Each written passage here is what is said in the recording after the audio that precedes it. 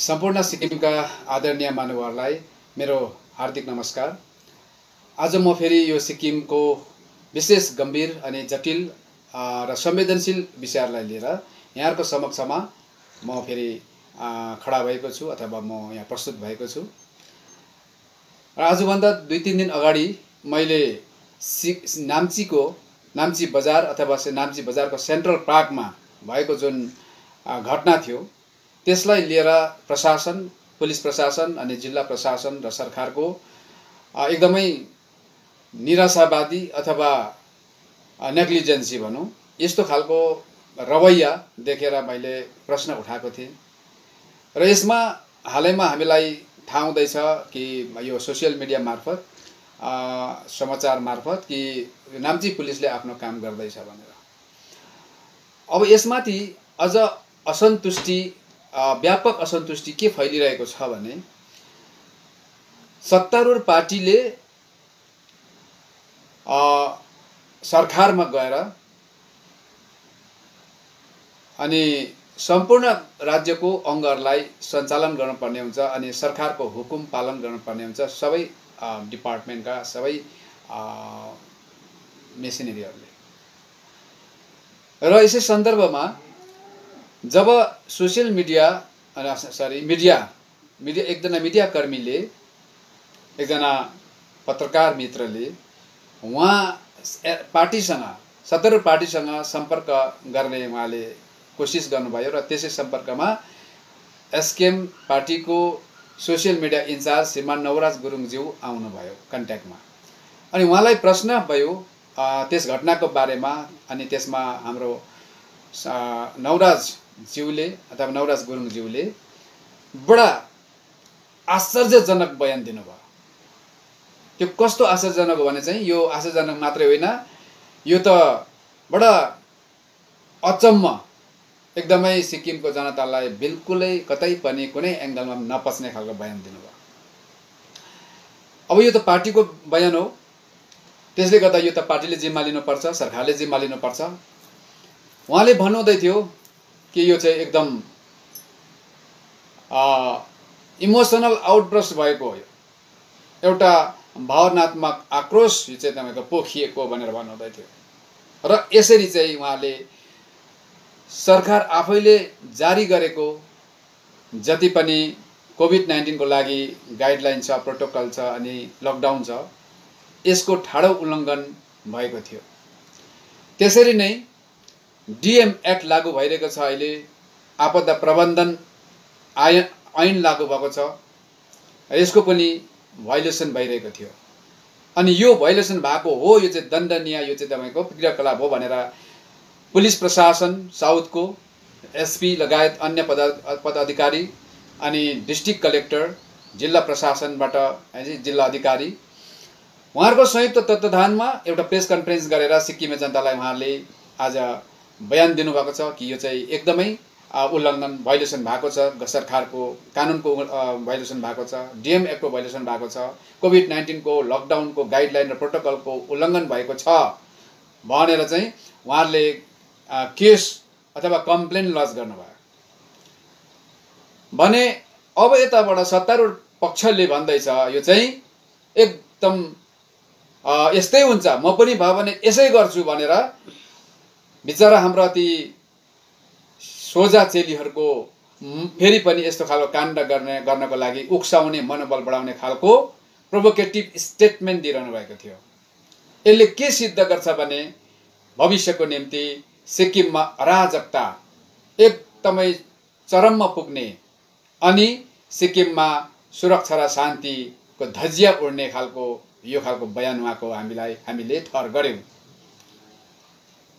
र अब यसमा पुलिस प्रशासन र जिल्ला प्रशासन आज तपाईँहरूको जिम्मामा छ सिक्किम किनभने कोभिड नाइन्टिनको लकडाउनभित्र तपाईँहरू सक्रिय हुनुहुन्छ। तपाईँहरूको तपाईँहरू यो जति पनि सिचुएसनको लागि तपाईँहरू अथोरिटी हुनुहुन्छ। अब तपाईँहरूले भन्नुहोस् सत्तारूढ पक्षको जिम्मेवार पदमा रहेको व्यक्तिले जुन प्रकारको एउटा उक्साउने भड्काउने अनि कुनै पनि अरू दङ्गा गर्न गर्दा पनि यो सही नै हुन्छ भनेर आज मनोबल बढाउने खालको बयान दिँदैछ। र यो चाहिँ अब हो भन्दैछ उहाँहरूले यो काण्डलाई। म भए पनि गर्छु भन्दैछ। र अब पुलिस प्रशासन र जिल्ला प्रशासनले यसमा तपाईँहरूले कस्तो बयान दिनुहुन्छ? तपाईँले यसलाई कसरी लिनुहुन्छ? या त कि तपाईँहरूले उहाँलाई एक्सन लिनु पर्यो। विभिन्न सेक्सन अनुसार उहाँलाई तपाईँको आज भड्काउने उक्साउनेमा उहाँलाई आज उहाँको कम्प्लेन लज गर्नु पर्यो। अनि होइन भने चाहिँ आज सिक्किम सरकार भोलिको ताण्डव जुन मचिन्छ यस्तो खालको प्रोभोकेटिभ स्टेटमेन्टले सिक्किम सरकारले जिम्मा लिएर चाहिँ यो गलत बयान हो भनेर चाहिँ उहाँले जिम्मा लिनु पर्यो। यो हाम्रो मिस्टेक हो हाम्रो गल्ती हो। हामी माफ माग्छौँ भनेर जनताको अगाडि माफी माग्नु पर्यो। सत्ताको सत्तारूढ पार्टी जिम्मेवार पदमा बसेर मन परि बोल्दैछ आज यहाँनिर सिक्किममा। अनि मान्छेलाई अपराध गर्न उक्साउँदैछ कानुनको उल्लङ्घन गर्न उक्साउँदैछ। अनि अब यता एकापट्टिबाट पुलिस प्रशासन र जिल्ला प्रशासनले यो गलत हो भन्दैछ सरकारले यो सही हो भन्दैछ। जनता पूर्ण रूपले अन्यलताको स्थितिमा छ। जनतालाई क्लियर गर्न पर्यो। सिक्किमको सबै वर्गका मानिसहरूलाई आज तपाईँको यो के अरे क्लेरिफाई गर्नु पर्यो। कि वास्तवमा पुलिस प्रशासन र जिल्ला प्रशासनले दिएको बयान गलत हो या त सरकारले दिएको बयान गलत हो। दुईटामा दुइटै सही हुन सक्दैन किनभने उहाँहरूको बयान आकाश र पतालको फरक छ। नर्थ पोल र साउथ पोल जस्तो छ। र जनतालाई स्पष्टता चाहियो अब यसमा। अति शीघ्र पुलिस प्रशासनले यसमा कन्फरेन्स गर्नु पर्यो कि नवराजज्यूको बयान चाहिँ प्रोभोकेटिभ हो कि होइन? अनि उसमाथि तपाईँले कारवाही गर्नुहुन्छ कि हुँदैन पुलिस प्रशासन र जिल्ला प्रशासनले एउटा स्टेटमेन्ट दिनु पर्यो अनि सरकारले पनि यो नवराजज्यूको बयान सही हो कि होइन यसको पनि तपाईँहरूले क्ल्यारिफाई गर्नु पर्यो तपाईँहरू आज जनताको सेवक भएर जिम्मेवार तपाईँको ठाउँमा बस्नु भएको छ। जनतालाई यसको स्पष्टीकरण चाहियो। र अर्को कुरा छ थ्री हन्ड्रेड बेडेड हस्पिटल जो नाम्चीको भेटनेरी ग्राउन्डमा स्थापित गर्ने निर्णय भएको छ। यसमा दुईवटा कुरा छ। एउटा हो यस जुन यो पाँच सौ करोड भनेर भनिँदैछ पाँच सौ करोडको प्रोजेक्ट हो भनेर पाँच सौ करोडको एस्टिमेट हो भनेर।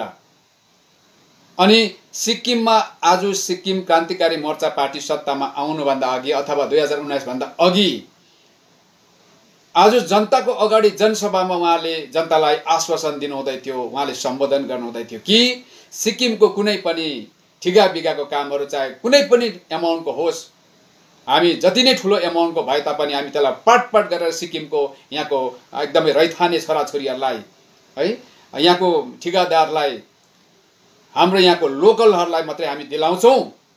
र यो विगतको सरकारले आज हाम्रो छोराछोरीको हातबाट भाग खोसेर गैर सिक्किमेहरूलाई दिइरहेको छ भनेर त्यस्तो बयान दिएका थिए। अब यसमा प्रश्न आउँदैछ अहिलेको वर्तमान सरकारलाई के यो पाँच सौ करोडको जुन थ्री हन्ड्रेड बेडेड हस्पिटल बनिँदैछ यो के साँच्चै सिक्किमको भूमिपुत्र यहाँको स्थानीय बासिन्दाहरूले यहाँको रैथानेले त्यो टेन्डर अथवा त्यो ठिका लिएको छ कि उहाँहरूले काम यो काम गर्दैछ? कि हाम्रो सिक्किमको रैथाने चाहिँ मागी खाने कमिसन मागी खानेमा मात्रै आज तपाईँहरूले के अरे राख्नु राख्नु हुँदैछ? यो क्लियर गर्नु पर्यो।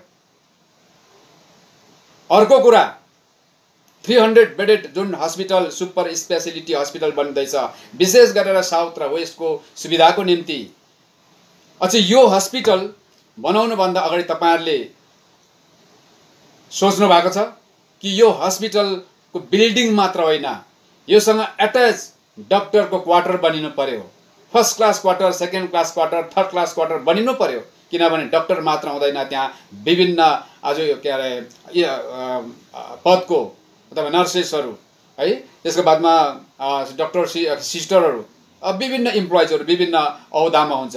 उहाँहरू सबको लागि क्वार्टर बनिनु पर्यो। त्यसको लागि काफी जमिन चाहिन्छ। साथमा गाडी पार्किङ गर्ने एकदमै सुविधाको लागि चाहिँ ठुलो एरिया चाहिन्छ। त्योसँग एट्याच। त्यसको बादमा त्यहाँ क्यान्टिनहरू बनाउने ठाउँहरू हुनु पर्यो। साथसाथमा गाडी आउनु जानु दुइटै के अरे डबल वेको लागि। अथवा गाडी दुइटै डाइरेक्सनबाट आउँदाखेरि गाडी सजिलैसँगले पास हुने खालको सडक चाहियो। अनि त्योभन्दा ठुलो कुरा आज नाम्चीमा खाने पानीको क्राइसिस छ। अथवा खाने पानीको स्कारसिटी छ। आज पच्चिस वर्ष सत्तामा बसेको आज के अरे सत्ताधारी पार्टीले पनि यो क्राइसिसलाई फुलफिल गर्न सकेन। भने यसको मतलब काहीँ न काहीँ नाम्चीमा पानी ल्याउनको लागि त्यो रिसोर्स त्यस्तो भेटिएको छैन। भने अलरेडी पानीको त्यहाँनिर स्कार सिटी छ भने अब तपाईँहरूले बनाउने सम्पूर्ण क्वार्टर डक्टरको क्वार्टरदेखि लगेर हरेक त्यहाँनिर जतिवटा बिल्डिङ बनिन्छ त्यहाँ सबैमा पानीको आवश्यक पर्छ। भनेपछि अब नाम्चीवासीलाई पानीको अझ बढी क्राइसिस हुँदैछ अब भविष्यमा। यो सोच्नु तपाईँहरूले चाहिँ अगाडि सोच्नु पर्ने हो। कुनै कुरा प्रोजेक्टहरू त्यहाँनिर बसाउनुभन्दा अगाडि प्लानिङ त्यसको एकदम राम्रो त्यसको सिस्टम ठिक हुनुपर्ने हुन्छ। अनि मात्रै त्यो पूर्वाधार चाहिँ तपाईँको कम्प्लिट रा के अरे त्यो चाहिँ एकदमै सुचारू रूपमा सञ्चालन हुने हुन्छ।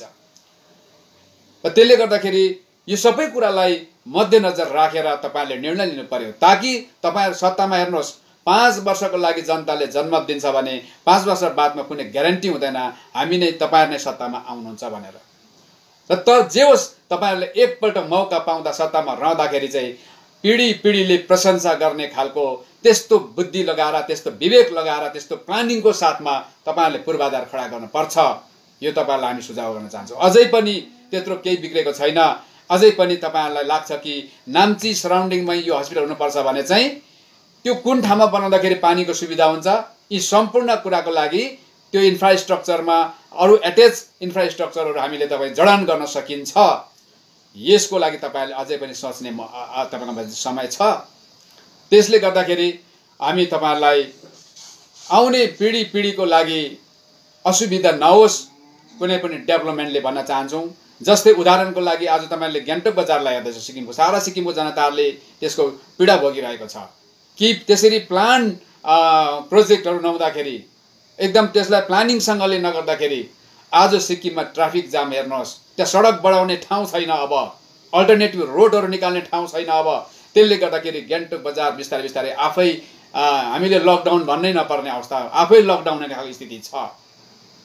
त्यसले गर्दाखेरि चाहिँ कुनै पनि सरकारले ढिकुटीबाट सरकारको ढिकुटीबाट अथवा तपाईँको जनताले आफ्नो खुन पसिना अन्तर्गत सङ्कलन गरेको बजेटबाट अथवा स्टेट रेभेन्यूबाट जब जब कुनै पनि योजना गरिन्छ प्रोजेक्टहरूको तयारी गरिन्छ बिल्कुल आउने भावी पिँढीसम्मको लागि सुविधाजनक हुनुपर्छ।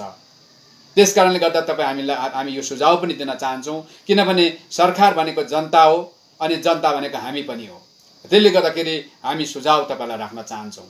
र अर्को कुरा छ सिक्किममा आज टेम्पररी बेसिस अथवा एडक्टमा जति पनि काम गर्ने नोकरी गर्ने जति पनि हाम्रा सिक्किमको स्थानीय दाजुभाइ दिदीबहिनीहरू हुनुहुन्छ छोराछोरीहरू हुनुहुन्छ उहाँहरू आज मनमा पीडै पीडा लिएर भविष्य कस्तो हुने हो भनेर आज उहाँहरू एकदमै त्यो दुखी भएर भविष्य अनिश्चित भएको कारणले गर्दाखेरि आज उनीहरू छटपटाएर बसिरहेका थिए। अनि उहाँहरूलाई प्रत्येक एपोइन्टमेन्टको लागि न्यू एपोइन्टमेन्ट जो एडप टिचरको लागि उहाँहरूको लागि इन्टरभ्यू कन्डक्ट हुन्छ। अनि इन्टरभ्यूमा बसेर उहाँहरू सेलेक्ट भएर उनीहरूले काम पाएका हुन् र एपोइन्टमेन्ट लेटर पाएका हुन्। र अनि उनीहरूले उनीहरूलाई आश्वासन तपाईँहरूले दिनुभएको छ। कि हामी सत्तामा आएपछि पाँच वर्ष पुगेकोहरूलाई हामी रेगुलर गर्छौँ भनेर। अनि तपाईँहरूले त पाँच वर्ष होइन हामी सत्तामा आउनु बित्तिकै वर्ष दिन काट्नेलाई चाहिँ हामी रेगुलर गर्छौँ भनेर तपाईँले भन्नुभएको थियो। तर आज तपाईँहरूले सत्तामा आएर पाँच वर्ष त के तपाईँहरूले आठ वर्ष तपाईँहरूले लम्ब्याएर यो अवधिलाई पुर्याउनु भएको छ? अनि आठ वर्षसम्म बस्नुपर्ने हुँदाखेरि ती हाम्रो कर्मचारी भाइ बहिनीहरूलाई कति नियास्रोपन आयो होला। अनि त्यसरी तपाईँको उनीहरू मर्नुभयो बिचराहरू। अनि तपाईँले फेरि आजको सरकारले फेरि शिक्षा विभागबाट एउटा फ्रेस नोटिफिकेसन जारी गरेर ती पुराना एडकमा काम गरिरहेकाहरूलाई पनि नयाँ एकदम फ्रेस क्यान्डिडेट सरह इन्टरभ्यू बस्नै पर्छ सालै पछि भनेर तपाईँले नोटिस जारी गर्नुपर्छ यो बिल्कुल अनैतिक एकदमै यो तर्कसङ्गत छैन। यो एकदम अनैतिक छ यो। यो नैतिकताको आधारमा छैन यो। अनि यो कुनै हिसाबले पनि यो तपाईँको तर्कसङ्गत छैन यो। सो त्यसले गर्दाखेरि चाहिँ उहाँहरूमाथि यो ठुलो अन्याय हो। अत्याचार हो। उहाँहरूको उमेर उहाँहरूको समयको शोषण हो यो। अनि यसै पनि उहाँहरूलाई मर्नु भइरहेको अवस्थामा उहाँहरूमाथि यो मरौमाथि कात्रो थप्नु हुँदैछ तपाईँहरूले। त्यो कसरी? म तपाईँलाई सिद्ध गर्छु। सुन्नुहोस् आज कसैको सात वर्ष पुगिसकेको छ। आठ वर्ष पुग्नु लागि अब एक वर्ष गर्दा हुन्छ र अनि रेगुलर हुन्छ भनेर पर्खिरहेका छन्। यदि सात वर्ष गरिसक्नेहरू छ वर्ष गरिसक्नेहरू पाँच वर्ष गरिसक्नेहरू चार वर्ष गरिसक्नेहरू है एक वर्ष गरिसक्नेहरू जसले अलरेडी काम गर्दैछ उनीहरूलाई पनि तपाईँले ने के अरे फ्रेस क्यान्डिडेटसँग इन्टरभ्यू बस्नुपर्छ भन्नुको तात्पर्य उनीहरूलाई म्याक्सिमम इन्टरभ्यूमा फेल गराएर रेगुलर गर्नुपर्ने स्थिति नै नल्याउने र उनीहरूको जीवन बर्बाद गर्ने यस्तो सुनियोजित षड्यन्त्रपूर्वक तपाईँहरूले काम गर्नुहुँदैछ यसको सिक्किम रिपब्लिकन पार्टी घोर निन्दा गर्दछ अनि यसलाई कन्डेम गर्छ।